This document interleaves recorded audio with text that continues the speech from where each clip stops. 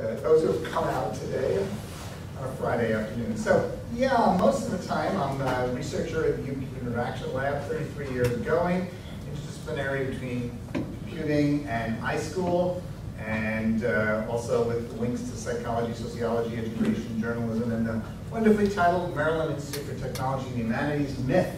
Uh, you can see 750 technical reports and uh, 200 videos and uh, 40 pieces of software on the website, or you can look at our five-minute video, which is uh, quite stunning. We're at work. I'm very intensely busy with book projects. Uh, the sixth edition of Designing User Interface is cooking. I just left our team phone call. The sixth edition will have six co-authors, but I've assembled a team. Catherine Plaisant's been my collaborator for more than 25 years, so that's quite wonderful to have. She was part of the fifth edition and the fourth edition, but now we've got a total of six authors, and we're working to make that happen. So that's kind of where I spend my time, but the research, uh, I just wanted to say one little note. Um, that you know my, my active effort is about uh, event analytics, particularly electronic history, electronic patient histories. So this is a little story just to give you an idea of what I do with much of my time. There's a children's hospital in a trauma bay, and when these kids arrive, sometimes unconscious or severely injured from them, uh, the, the protocol says you have to check four things. Airways, breathing, circulation, disability, ABCD. You get two minutes to do that. And then seven minutes for secondary survey. Roll baby over, take off the clothes, child. Check if any bruises, wounds, burns, rashes, cuts, etc., uh, etc. Et uh, you get seven minutes to do that. And the question the manager was asking was, how often do they get this right? So they set up a video camera in this emergency room and videotape and then had someone timestamp when these things happen. And they gave us, and many other events. So we get a timeline which has timestamps on it. And if you look at the data in the tool, it's kind of easy. Regina gave me this wonderful pointer. There we go. So looking at an individual patient, you can see airways and breathing, disability with check, central pulse. Those are the timestamps for each of these patients. Uh, and the secondary survey is a little bit of a line. This one was pretty quick. This one took a lot longer, and sometimes they get even longer. So this is 216, a very small database, and here's what they all look like here. This is what we call, quite politely, the confetti approach, uh, you know, which just shows this overwhelming amount of detail. But the red line, which is the airway, that happens with about 135 patients. You can see that right away. And for another 50 of them, the first thing that happens before the airway, they actually get oxygen, which is another different kind of event, not on the protocol list, but that's what happened first. And then for others, uh, they, you know, check the breathing first rather than do the airways. So that's kind of what you see. But then you see some of these anomalies, like these very long secondary surveys that took 30 minutes or longer, that's way out of range. And you get an overview of this. I see Jonathan looking at this, and yes, we've done this with security histories too. Uh, both attacks on honeypot websites as well as insider threat activities. So those things do get done. So event flows are a big deal. And if you start filtering and organizing, uh, selecting only the ABCD and secondary survey events, you get a much simpler view and you begin to see. And with a little more work, you get to see that half the patients did A, B, C, D, and then secondary survey. Pretty good, okay? So that's normal. Now we could get rid of those, and then you can see, I hope, the most common error. That's what the managers wanted to know. What's the most common deviation from ABCD? There it is. Can you tell me what it is in words? Thank you. They start a secondary survey early, and disability check gets done afterwards. Okay, so you get to see, and you can see under those conditions, actually, the secondary survey takes somewhat longer. So, and there's other anomalies that show up, and there are 29 ways in which they violate the protocol, and you can sort of read them out. Some of them are not that important, some of them are more important. You can see reversals of order. About 30 of the patients, the first thing that happened was a breathing check gets done. What, oops. Well, maybe breathing check getting done is a good idea. Uh, so they began to look and redo these kinds of things. But this is what I spend a lot of my time on, on larger data sets when you get, Adobe's got trillions of, of clicks, but let's say hundreds of millions of, of customer histories of which websites they visited and did they buy something or not. And so we're doing that for Adobe. And I have to say, I very, I can't resist. Yesterday we concluded a year's worth of negotiation with Oracle, uh, which has supported us for three years before. But this fourth year, they said, actually, we want the license to use this and put it into our, our medical history and, and uh, randomized clinical trial tools called Empirica, Oracle Empirica. And so that took a year to negotiate uh, with the Oracle and the university lawyers, and last night we did it. So kind of celebratory mood. Uh, and so that will continue to support our, uh, our work here. All right, but today, as Pamela suggested, this is a bit of a different story, and it's been my ruminations over my career, but over the last two years, wrestling with this idea of how to write a book and tell the story. So part of it is a guide for junior researchers. Some of you are students and young faculty and maybe trying to figure out how to make your way as a success story as a researcher in the existing system. Good, I think I can help you. Uh, the second is a manifesto for senior researchers, university administrators, business leaders who are doing research or supporting research, and funding agencies like NSF uh, to think about how to reframe the nation, the notions of research agendas and methods, and I'll particularly focus on teamwork, when done right, can produce high impact. One of the dramatic changes we'll get to is teamwork. I'm pleased that the book site is up for the book, and I can't resist, here's a few of the flyers if any of you want. This is my first version of a flyer. Uh, so I'm starting, I gave my first public talk at uh, Business Group downtown on Tuesday, so I'm beginning to tell the story.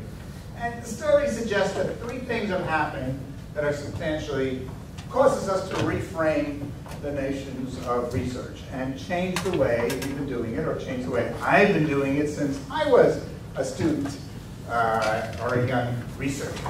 First is the problems of the 21st century are dramatically different than the ones of the 19th and 20th century. I mean, just think back, Louis Pasteur coming through with the germ theory of disease, who both explained vaccination and fermentation problems, okay?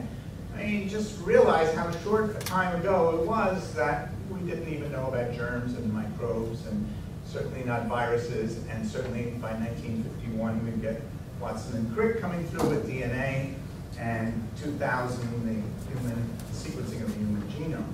So the problems now are more about healthcare delivery. How do you organize a $2 trillion industry in this country so that you can eh, do LBC reduction and smoking cessation and cancer prevention and make hospitals work in an effective and economic uh, way. Uh, environmental sustainability, climate change effects, community safety, disaster response. These are large questions that are you know, way beyond understanding is Pluto out there uh, and have dramatic consequences. I mean, there's good news that the world is getting to be a better place. Poverty and illiteracy and, and is, is, much reduced around the world. Um, and there's good news, but there's still much to be done. Okay. So I would suggest the problems are different. They are more often socio-technical. Cybersecurity, right?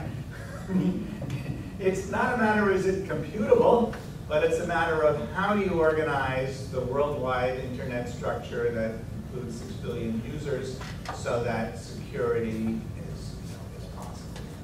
Okay? Second is the new technologies. The very appearance of the web has changed science and research and engineering in dramatic ways. Not only accessibility of documents, dramatic change. Uh, 30 years ago, researchers read about 175 page, papers a year, mostly from paper documents in a small number of journals to which they subscribed. Okay? That model is gone. Researchers now read about 400 papers a year, and uh, only a small fraction from paper, mostly on the screen, printed, and from a very much more diverse set of journals than they used to. And where do they learn about these things if they don't get it in the mail as a paper document? Through social media, email, listservs, discussion groups, recommendations. The majority, majority come by recommendation and electronically. And I think most, you know, have, people have not recognized the implications Of course, the collaboration technologies dramatically the possibilities to work together, and that has raised the ambitions. That's the third major social change, is that research teams now have much greater ambitions than they used to. 25, 30 years ago, the test of a new medication or a treatment would involve 80 or maybe 800 participants at a single hospital, and now a typical test of a new procedure would be eight hospitals around the world and 8,000 or more uh, participants.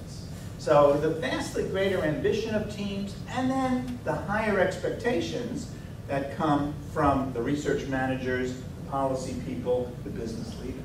We have dramatically greater expectations for delivery. Okay?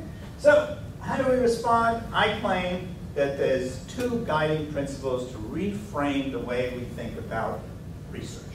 Okay? The first is the ABC principle, or the first version of ABC, applied in basic. Now, this sounds straightforward, the idea that you work on real problems, and you apply theoretical frameworks and knowledge, and then you go back to the real problems and test your theories, refine your theories, and you publish the theories, and you solve the problem. I think people in this room and a lot of people say, oh yeah, sure. However, it's a vast deviation from the existing paradigm which was promoted by Vannevar Bush in his 1945 manifesto called Science, the Endless Frontier. And what he proposed was you do basic research first, and then you look for applications, and then you develop a product and you go to market. It's a great idea, and this linear model is still fixed in many people's minds. The only trouble is, it rarely works. And in spite of many scholars and researchers making the point this doesn't work, we're still stuck with that as the model of defense funding, 6.1, 6.2, 6.3. We're still stuck with it in many circles within NSF and in the President's Council of Advisors for Science and Technology. If you read, the, what really triggered my writing this book was the November 2012 report about innovation in the United States, which was written by the ghost of Vannevar Bush, okay, and repeated this mistaken interpretation of history, claiming, for example, that Bell Labs was organized as a basic research facility, okay? Clearly not true if you read John Gertner's book about the Idea Factory. Everyone who talks about Bell Labs would say, driven by applied problems.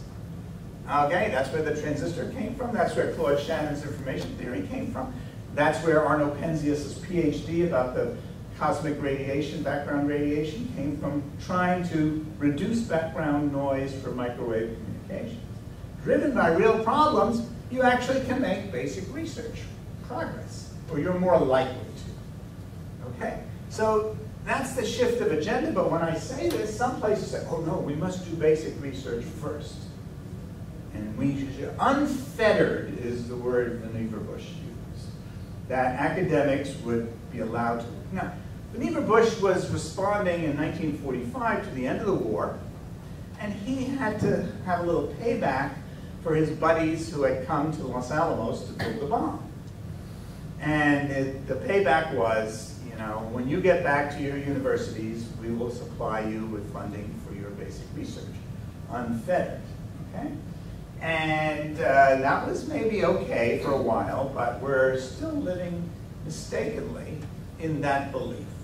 Okay, so the new agenda says you work on applied problems, real problems, real users, real data, and you apply theoretical frameworks, you publish results, and you solve problems.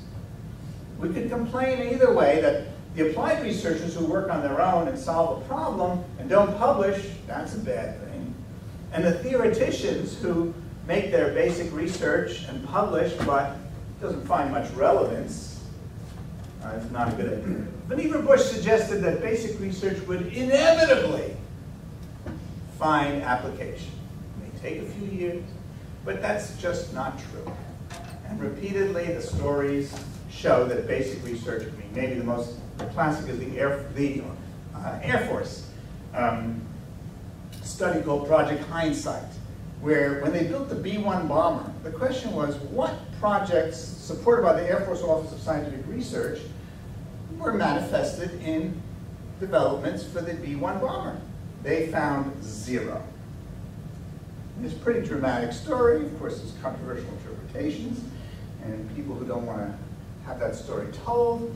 But you look and see agencies like DARPA, which have much closer alignment to this, and the movement in Washington is from think tanks to do tanks. And getting active and getting our students to be active and work on real problems, real data, real users is, I think, the way to take us to forward. Anybody want to come back and challenge that or ask about that? I think part of it is a a little bit of interpretation, because I'm thinking, you mentioned about the nuclear bomb, and I'm thinking about the quantum physics that underlied that fifty years earlier. Okay. To some extent, they were motivated also by some Yeah. experiments, for example, So, but. yeah, I mean, that's often, didn't Einstein work on basic research on his own? You know, wasn't Niels Bohr working? You could, you could find examples, and, What's that? Far, look at Shannon. And when Shannon's theory came out, people derided it because they said it was disconnected from reality. Yeah. And yet it opened up visual but Shannon is one of the examples I use because he worked on applied research problems. That's how he got to information theory. Yeah, but when it came out, it certainly, the connection Okay. was rather thin, I right? think you're responding to John's point about it's subject to interpretation. And yes, as I say, the PCAST report had an interpretation of history that just seemed incorrect to me. So you may not buy my arguments, or you may want to, Do you have time, actually? or- Yeah, or- or you- go ahead. So, so you, it's interesting you mentioned this, uh, Penzias, uh, example, because there was, you know, basic, work- basic research that led to Nobel Prize, right? So motivated by producing background noise for radio transmission. What's interesting to me is that he was, he started with the practical problem, but then was able to go off and spend, I, I guess, a number of years working on a completely theoretical aspect of it. Whereas from a funding agency point of view, if they see the slide, they would say, no, we, we want the results by the end of six months, and if you haven't solved the theory, then you stop working on it and do the best you can do. Fa- I may have, maybe maybe strongly stated the problem. Um, John, you want to comment before? I, I used to be a physicist and kind of still consider myself a closet one, and I became an engineer. And I just wanted to ask, what department are you from again? Because I, I come from a basic science Yeah, background, and quite often what I found is that where you stand depends on where you sit. Uh, well, I, I mean, I think my own. I mean, I'm not sure the Yeah, physics department and the biology department would see things the same. I understand, yeah. I take your point, I mean, I think it's it's certainly uh, in sync with the fact that there should be a vacuum for between applied and basic.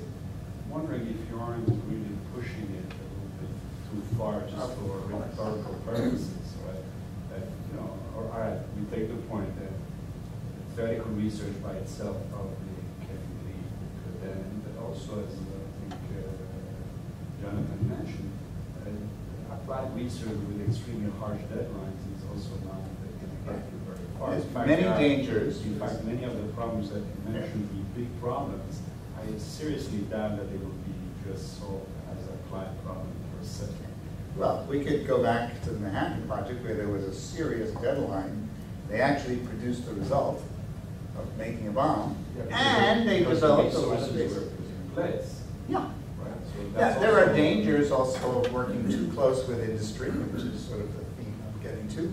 Take the Volkswagen story of recent weeks or other Pepsi Cola. There's a lot of dangers for doing things that too much hew to the agenda of, of corporations. So that's, that's another challenge here. But I see that the need to shift the balance, let's say, towards working together and working on real problems. In the sense that I would say academics are smart people. However, they don't know how to choose problems well. Okay, they often make poor choices in problems they work on. They develop these esoteric theoretical frameworks which don't live on and don't propagate well. If they have a connection with industry, Dave Patterson in computer science is a great example, working with real problems, he would say accelerated the AMP lab at Berkeley and its worldwide success. We could talk more, for example, let me, let me hold it. Let's take, second driving principle is SED, which says that the methods of science, and I grew up in the age of, of uh, Thomas Kuhn's Structure of Scientific Revolutions, and science was research. Okay, so I started out becoming a scientist, studying physics and going that route. But I'm a member of the National Academy of Engineering, and my book is called Designing the User Interface.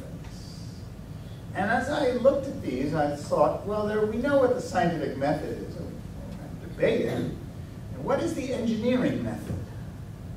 What is the method of engineering research? That's a good discussion. And often talked about prototyping and refining prototypes, also modular decomposition, and a few other principles.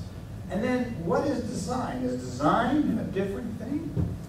Dan Mote, our former president, now head of the National Academy of Engineering, sees a grand distinction between science, which is trying to understand the world as it is, engineering, trying to build the world of the future.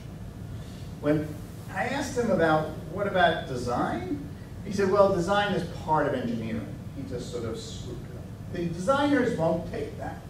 And I began to see in my career, in my lifetime, the growth of design as a distinct and powerful subfield. And I wasn't confident yet in making that claim, and so I began to look for a little bit of, you know, so, so my, the, the point of this is that we should be teaching our students these multiple methods, the scientific method, the engineering method, the design method. We should have them work on projects with each of these ways of thinking. Design thinking is a distinct and very different approach to solving problems than the scientific method. Designers resist the pressure to scientize design. They have a word about it. They don't want to be scientized, be made like scientists. And they claim special skills, abilities, and outcomes if you think like a designer. It's the design thinking notions of IDEO. It's what Stanford's D School, design school teaches, what RISD, OCAD, SCAD, and other design schools teach. Unfortunately, Maryland is very weak in having a design college and having design as part of our education. My, my sensitivity about this was well, maybe accelerated or improved by going to the Google Ngram viewer and all books in English, and I only show you 1900 to 2000. The term engineering appears often, the term science appears often, but look what happens. Design goes up and after 1975 crosses and becomes the dominant topic of discussion in books. So this wasn't just Steve Jobs and Jony Ive, but there's a, you know, this suggested a broad cultural shift that increased the presence of design. Let me take a pause. Yeah. Just quickly, definition of design, are you including things like uh, aesthetic appeal as part of design? Yeah, there's, there's three separate chapters of what is science, what is engineering, what is design. So design is, I mean, engineering is usually described as fulfilling requirements to achieve a, a stated goal.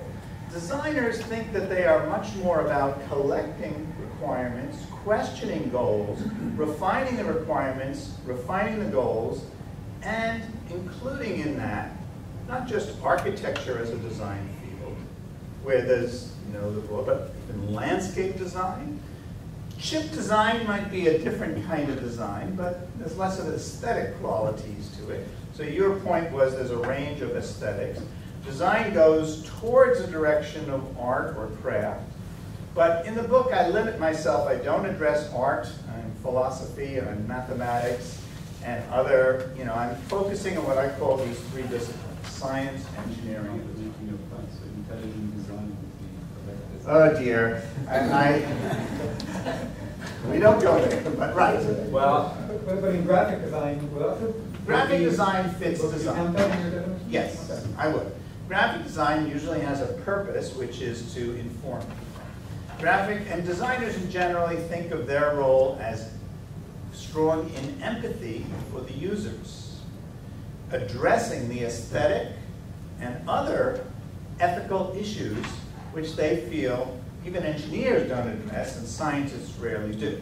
Scientists will say, that's not on, that's not my topic, okay? Okay, Uzi, you get a chance. Yeah, what are those algorithms designed for? correct. Yeah, I mean, I think that gets you closer to the mathematics, and so that's it. But I think uh, there's a shift there as well.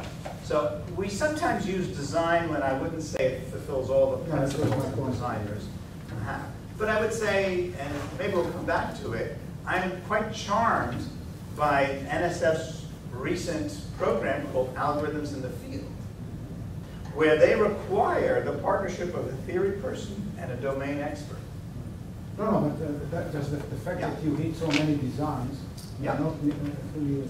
There's about, if you go to Wikipedia, there's a list of about 30 fields that consider themselves design, from aircraft. about these statistics. Yeah, okay. So I wasn't sure, one data point like this is not enough to change you. And then while I was writing the book, the New York Times released their system called Chronicle that gives you access to all the pages of the New York Times, searchable in the same way. And look what I found. Um, Scientist appears, engineer appears, but designer, once again, 1975, it crosses over to be the dominant topic.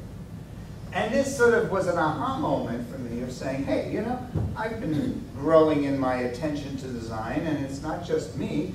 Um, that design is really a dominant uh, topic, and yet in engineering and in science, we don't get the full story about design, nor do we teach the design method. And what's the design method? There's many versions of that. Uh, in the book, I tend to like the British one, which is called the Double Diamond, which has a divergent exploration and gathering of requirements, and then converging on a design, and then again, divergent about how to implement the design, and then converging on actually building it. So what's the difference between engineering and design? Well, I, I just saying that, that, uh, that engineering tends to be, given a set of requirements, I will now iterate to build prototypes uh, based on performance metrics that I've been given, or that I invent or I study, to convert, to get closer towards a better design by modular com- components. This is Brian Arthur's discussion. And so I, I would say that modularity uh, is a key aspect in the prototype building and refinement of actual prototype. Whereas design is much more of an expansionist view that addresses stakeholders and includes them, that deals with an empathic approach and sensitivity to human values, ethics, and takes a broader view of redefining what the goals are. Now, again, engineers like Dan Mote would say, hey, we do that. Okay? And scientists would say we do that. All right? And so there's a kind of fluid boundary here, and I would say I've run into people feeling my sharp lines separating these three disciplines are too sharp. Oh, you could see, but I felt it was useful as an exposition approach to say, What you make, you're making a point. That's You're right. Making a point. I think there's enough difference, and I would say, while there may be a lot of overlap between design and engineering, there's a lot of things that engineers could learn from designers, and maybe designers could learn from engineers. And my, my strong point is that we should be teaching all three methods. John? Just a, uh, okay, coming from systems engineering. okay, uh, The things that we focus on in systems engineering are, re- are user requirements, development of specification requirements, Yeah. and architecture, which I see as being kind of a subset under what you're using Yeah. the, the term design for. Yeah, yeah, I would say some engineers, some engineers do have a very design-oriented way of working. Um, And so, I mean, Dan Mote was unconvinced by my arguments, and he felt design was part of engineering. But I don't think landscape design is part of engineering. I don't think graphic design is part of engineering. And there's a lot of branches of designers, and the American Institute of Graphic Art, and so on, many, many fields that we usually don't think about in engineering or science, but they are growing in power and importance. There's social design as well, which we might call social engineering. Okay, so this, you know, we could argue for the, the, the, the Venn diagrams to overlap a lot, or we could say they, they overlap a little, or. Okay, so here's where I've taken us. That I believe we have three new environmental contextual issues. There's two guiding principles I advocate and expose in the book, and I have whole chapters about what is science, engineering, and design, what are the cha grand challenges in each field. You go to the National Academy site and read the 14 gr- grand challenges, you'll find a pretty interesting set of things. that are different from science agendas, they may include science. And they're also, I think, different from the design agendas. Remember, the National Academy of Sciences was founded in 1863 by Abraham Lincoln. The National Academy of Engineering was founded in 1964, 100 years later, now celebrating its 50th year. And the National Academy of Design was built, was founded in not. Thank you. I, one of the outcomes of the book is to propose that by 2064, we should have a National Academy of Design. And that would require designers to live up to the standards that I'm advocating of publishing their results and describing their work in a general theoretical way. Whereas designers, I, my critical part about designers is they often say, my design is my theory. Just look at it. You know, you will see my theory. But I don't agree.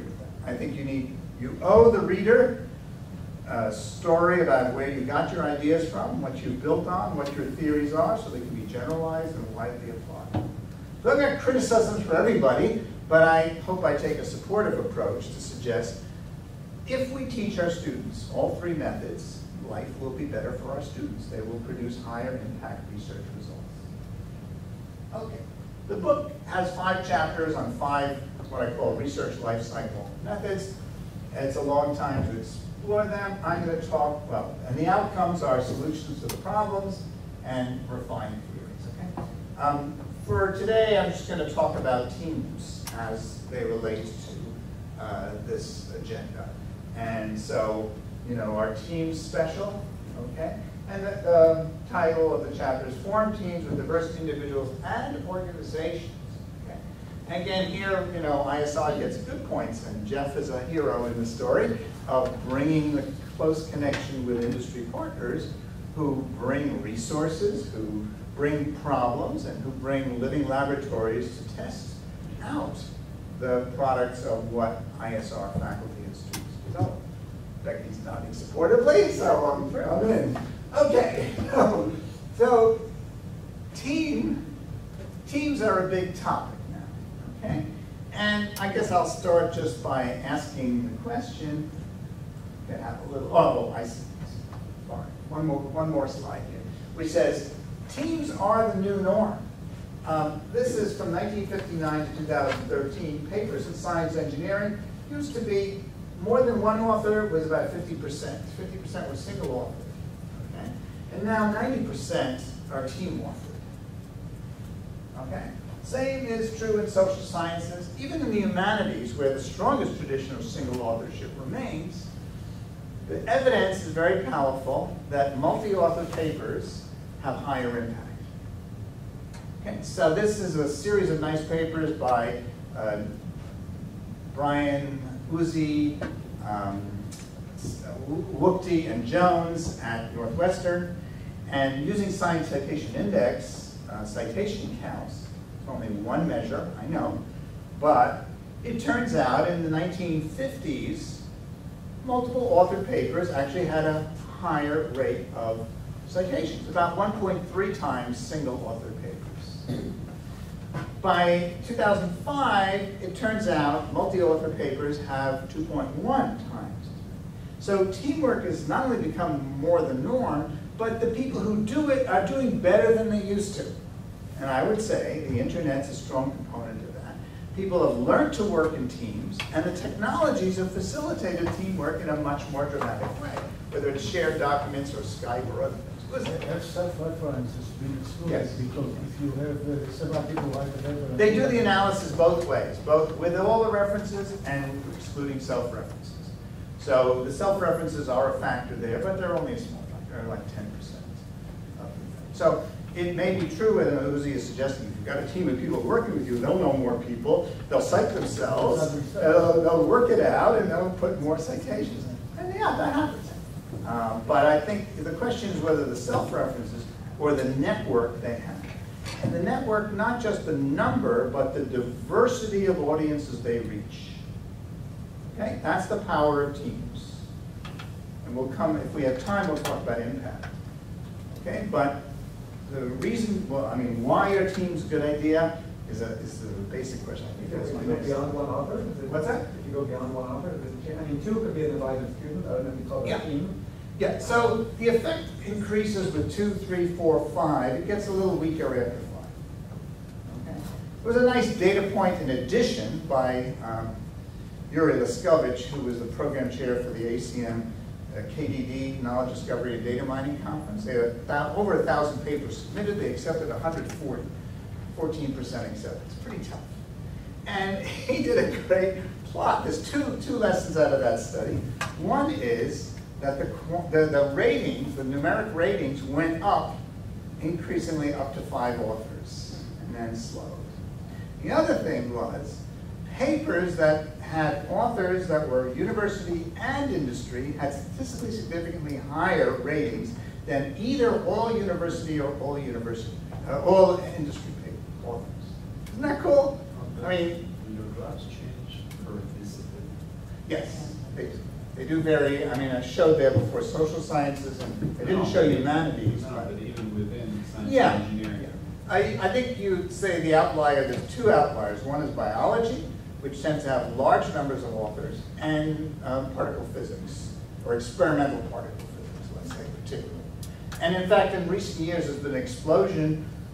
Only 10 or 15 years ago, the first papers with more than 100 authors appeared, and now there are papers with thousands of authors, where the author list is 26 pages. I mean, it forced some journals to give up paper publication because they could not list the number of authors. So there's some aberrations there. There's, there's you know, only a few hundred papers a year that have these extreme numbers, but the numbers of those, you know, the frequency is, is growing. So you have those differences in disciplines, which are partially understood, but I think in computing and engineering, you see this growing trend towards more authors. Now, cynics will say, oh, that's a bad thing, you have these groups working together, and they sort of just add the names, and yeah, there's some, you know, bad acting going on there, where, uh, you know, you, you, you just, you include your friends and your friends' friends as co-authors, and they agree to do the same for you. And I think that's unfortunate, and several journals are cracking down, requiring the test that every author has to sign a document that describes their role and that they could make a public presentation about the contents of the paper. I've had that problem too. I mean, the tools we developed for doing hierarchical clustering and data analysis are used in genomics, and the people we talked to, we were trying to help them use our tools, and they succeeded wonderfully. One of these only has 18 authors, but myself and my student are co-authors of a paper that I could not explain to you about, you know, the, the, the, the um, 23 genes that play a role in muscular dystrophy. It's a statistical presentation, but our tools, they said, were essential. And we said, fine, thank me in the acknowledgments and cite my work, and I'm happy. Uh, but no, they say, you know, you have to be a co-author, otherwise our funding agencies won't believe that we are really working. So there's, you know, these different. Okay, so why do we work in teams? I don't want to go too far with this, but why do we work in teams? Come on, you can tell me. Why? I a larger pool of people means public means more interesting more diversity, more randomization in the actual process, the ability to get inputs that are not standard to your thinking. All right. That's a pretty good, strong statement about the benefits of diversity. What else? Why else do we work? You don't have to do all the work by yourself. Right, so the multiplier effect, which is kind of the, the, the migrant workers on the farms harvesting the apples, it's, if you have hundred people, it goes faster than you have one person, right? So, uh, there's both a quantity and there's a quality aspect to this. Why else do we work in teams? the, the bigger problems, which you started the whole There you presentation, Uh, really requires a much more interdisciplinary Right. approach Uh-huh. to, to solve the problem. Ah, okay. You didn't say interdisciplinary, but you did say diversity of knowledge and skills. So, um, you're saying one is the big problems I'm talking about, the immense problems I'm talking about, require some different skills. And yeah, there may be a theory skill, there may be a computing skill, a data mining skill, there may be an implementation, there may be all kinds of different things that you weave together. Yeah. And that's the raised ambition. different scientific sociology disciplines to, to address. So that's sort of related to the diversity. And I just want to come to, we can have a whole day about talking about the interdisciplinarity, which you cited. So I had written a whole chapter about the power of interdisciplinarity, and then I threw it out. And then it returned after a few months as a sub, as a section of the chapter on teamwork. The evidence is not there for interdisciplinarity. Okay? Evidence does not show. So, you know, if I say, if I get a computer scientist and a, you know, engineer and a, and a dance person together, okay, a dance theory person, is that, you know, is that, that's real diversity. So there's a downside to diversity. There's a downside to the size of the team also. Okay, so there are problems, and teams actually fail quite often. And because there's so many, it's quite visible.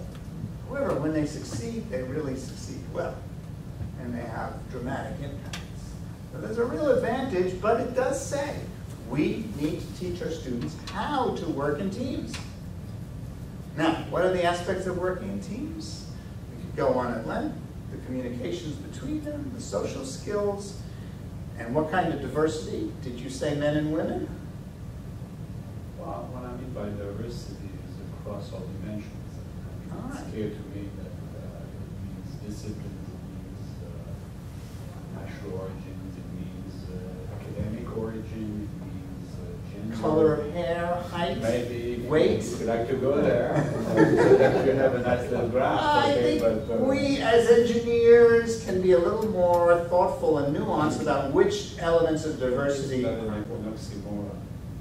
No. I mean, for engineers to have such preoccupations. Oh, oh. So I would say, the way a longer discussion says what kinds of diversity do you want? How about old and young? Yeah, I think that's good. Is that more important than men and women? I wouldn't know. I would wouldn't not. understand Actually, it. so since you, you know, um, reflect back here, so data to suggest that interactions in teams of men and women do better than teams of Yes, men. strongly, Yeah. strongly, repeatedly, pretty consistent one, okay? You think this Well, oh yeah, lots, there's lots, there's a long history, a large amount of this, but absolutely. Why is that true, you might ask? I mean, I think, well, if you want to try, why do you Why think is that? that true, I'm sorry? That, that teams that involve men and women have a much, in general, overall things, have a much greater success rate. And higher citation counts too. You mean in academia? Yeah, Because, try it, Becky, watch out though. because if to be a woman in academia, you have to be pretty smart to start with, or else you, you're not gonna make it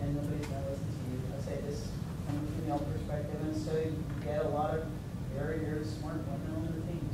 All right, so that's so, one, is so, as a filter. So papers written by women alone should be also. No, no.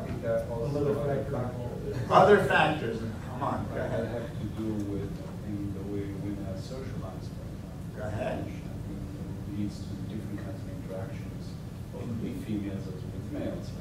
And One can argue that this works now because we're on the ramp up stage, but we'll have 20,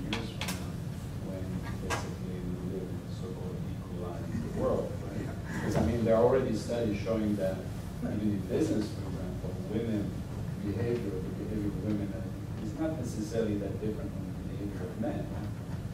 So uh, the curve is in the right direction, but, Yeah.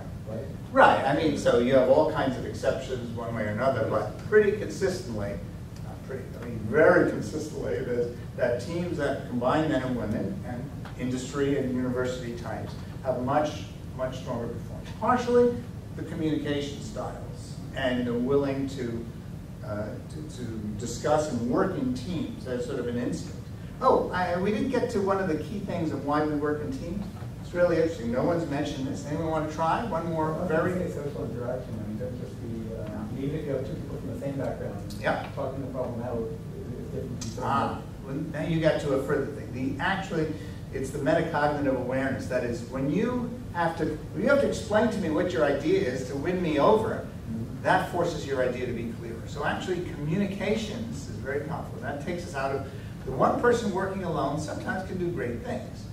But having to explain your idea to another early on is a very rich way of solidifying your ideas and clarifying your thinking. Okay? So it's very powerful just to explain it. And even those solitary famed figures, even like Einstein, you know, his wife was a, was a physicist, and, you know, it's often said that she should have been given equal credit because she was the sort of sounding board for ideas.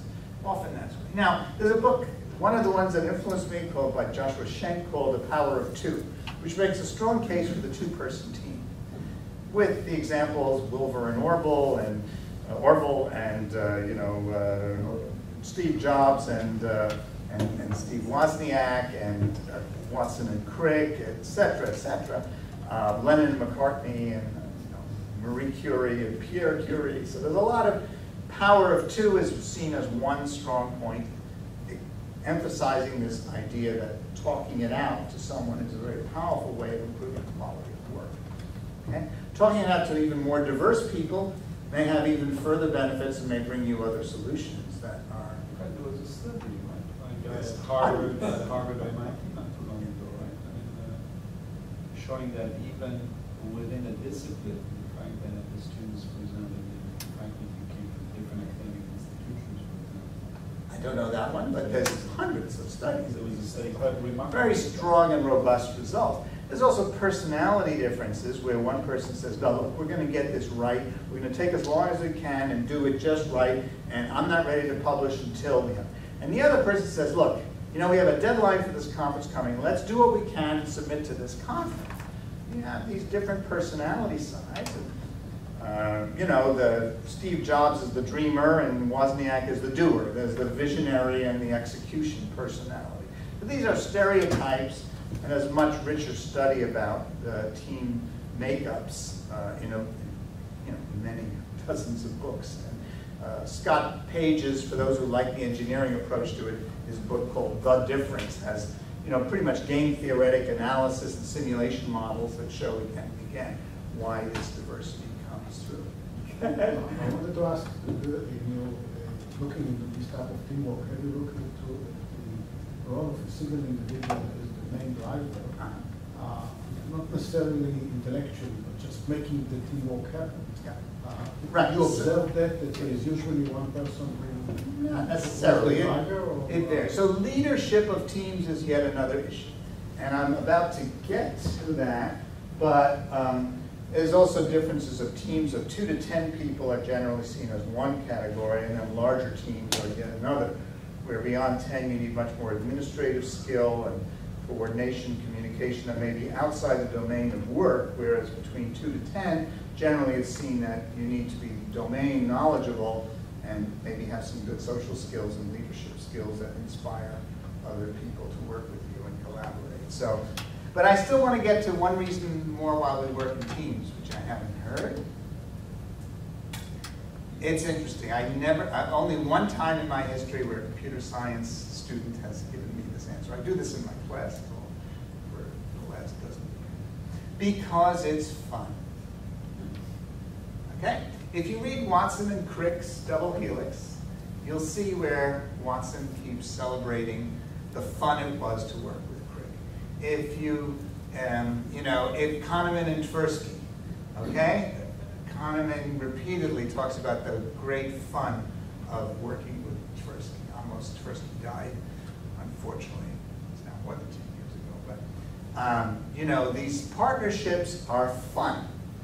And in the computing fields and in many engineering fields, we tend to be more introverted in our style. And the instinct to work with others, this is not, again, this is, this is validated. Computing actually is the highest degree of introversion of any profession studied, okay, in data processing, um, professionally. So um, our instinct and my students will say, you know, when I tell them there's teamwork to be done, they come to me in the class, a few of them will say, you know, Professor Shneiderman, this is all very good teamwork, but you know, I have another job and I have to take care of my parents and I'm doing this, could I do this project on my own? I'll do the extra work.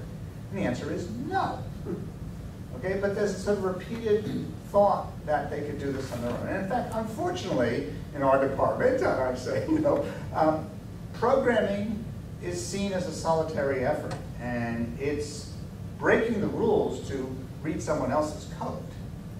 And yet, in industry, you're always working in teams. And unfortunately, we have a long history, which is hard to break, and some of our faculty share that vision, that, you know, you can't read other people's code. and they don't encourage the collaborative work on actually more ambitious projects, which I think is what's, you know, the essence. Yeah? Isn't that the whole point of additive development, it's a recognition? That's right. Yeah. So, I mean, the point is so powerful, and industry has so much figured it out, that agile development has become this, you know, and other previous group strategies. Yet, I don't think we have any class where we teach agile development. Do we do that? Yeah, I'm not sure either. But, you know, I would say, uh, you know, if I had my way, but Vic Basili and I, um, you know, many of you may know him, he's retired now, but software engineering faculty. He and I visited General Electric, which at the time was one of our, our students. And, uh, you know, after a whole day, you know, we finally said, what do you think of our students?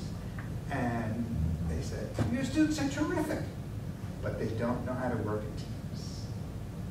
Okay? It was a pretty powerful, and that was life-changing for me. So I make, all my classes have They have a lifetime to learn. That's right. I mean, it's not easy, and I have to learn that too. But I think I'm getting, I think I'm gonna cruise through here. We're nearly done, or we should probably, yeah. Um, so, you know, there's a lot of things about how to work in teams. There's a, the, the book has a dozen subsections about the strategies to work in teams and how to make it happen, and what are the, you know, what do we know about success. And then I do want to say how this is becoming a national issue.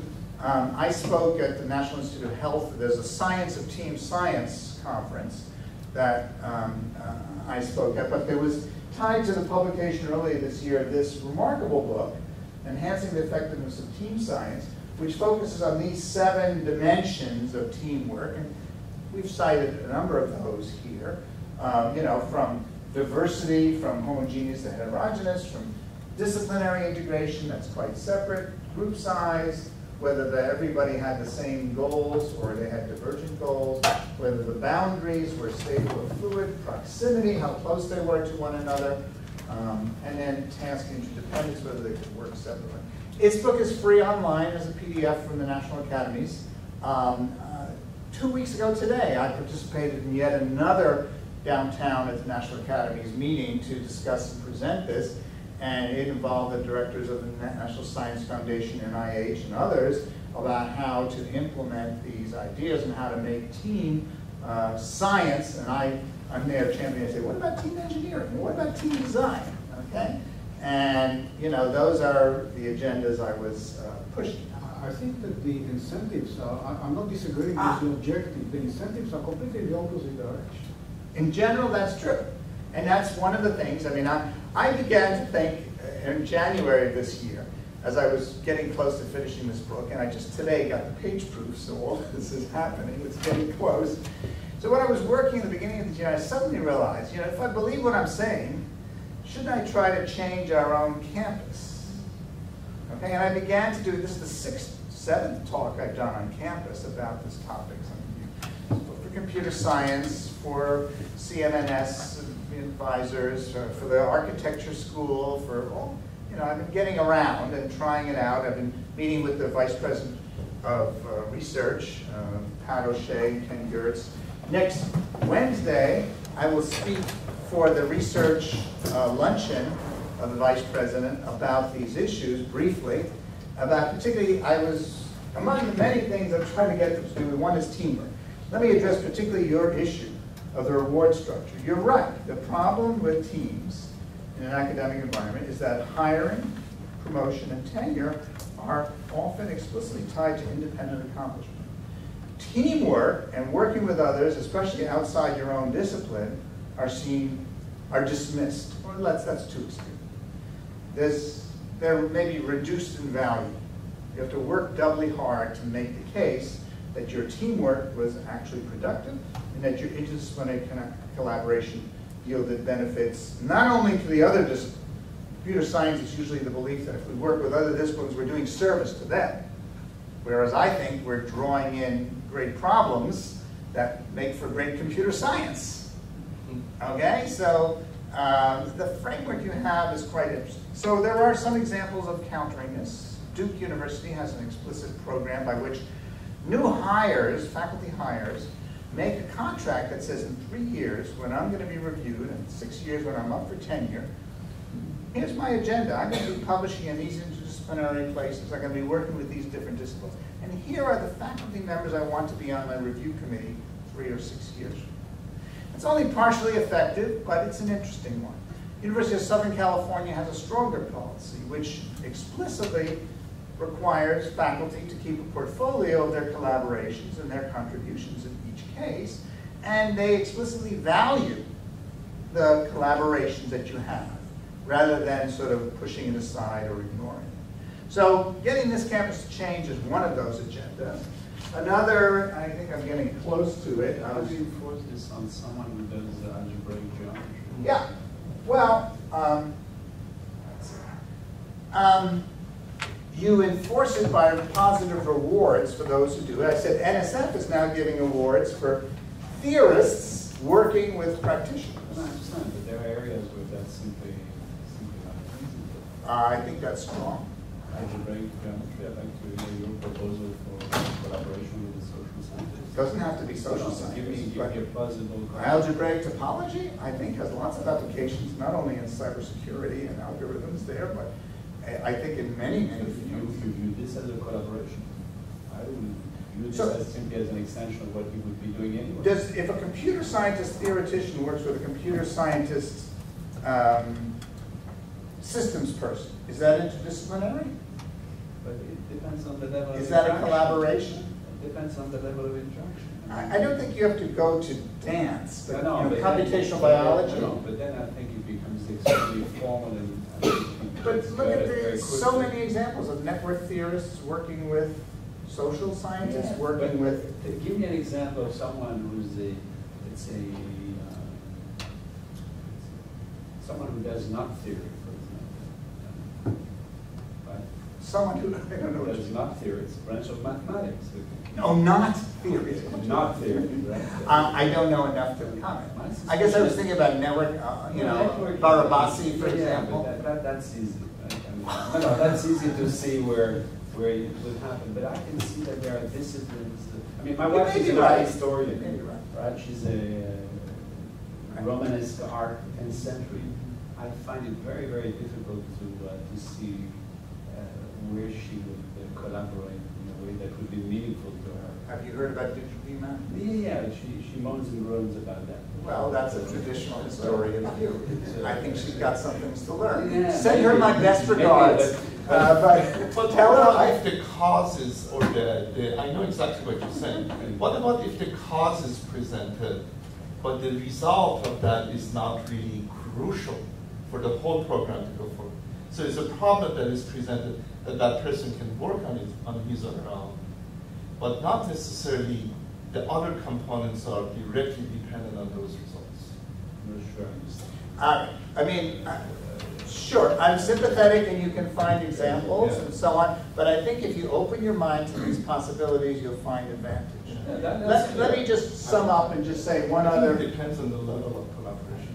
you know, I just want to close with this idea uh, that I've been trying to promote around campus about some changes. Uh, And, and Mary Ann Rankin, the provost, gave me a glowing endorsement for the book of saying, you know, these are great ideas, beautifully presented, and I'm going to put them in my strategic plan. So I think I'm sort of finding the right places to make this intervention. So here, the issue about, and I hope next, uh, I don't know if any of you are coming to the research luncheon next Wednesday, but it's to honor the research leaders around campus. And uh, uh, you may know, it's been poorly advertised, but I succeeded.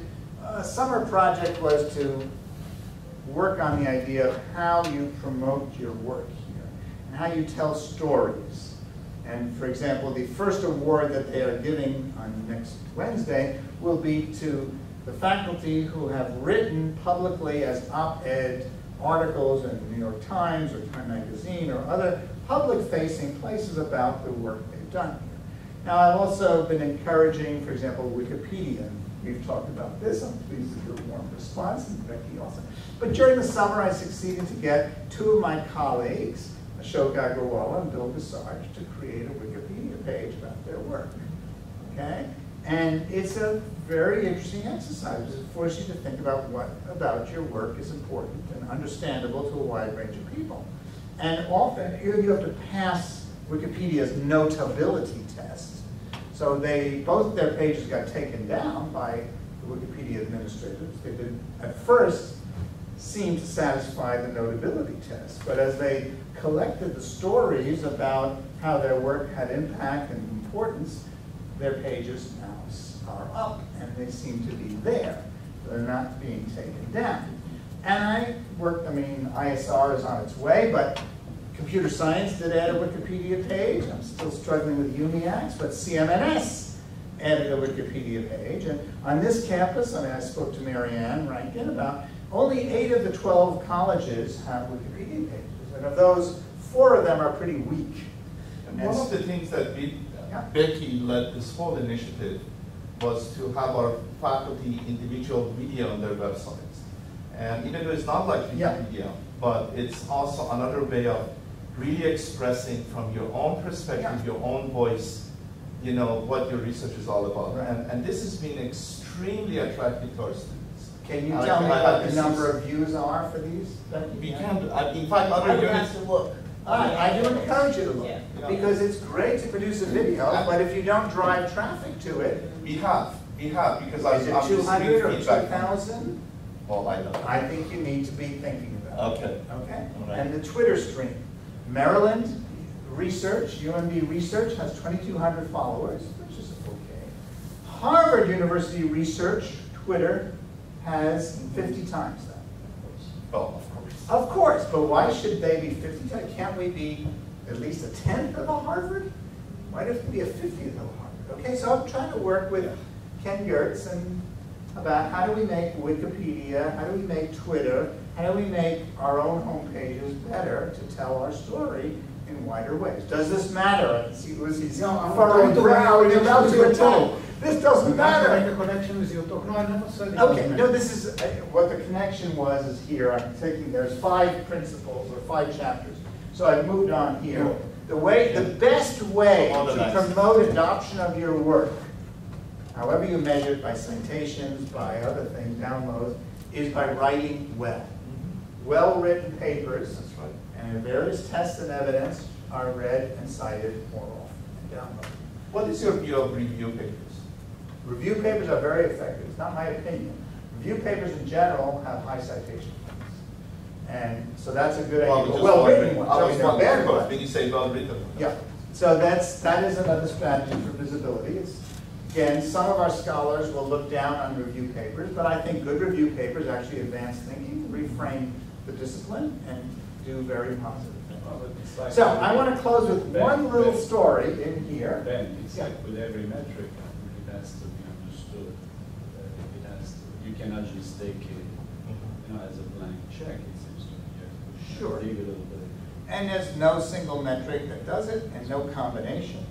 And there's a strong alt metrics groups that are alternative metrics, and then there are groups that are against metrics and want qualitative review only of quality.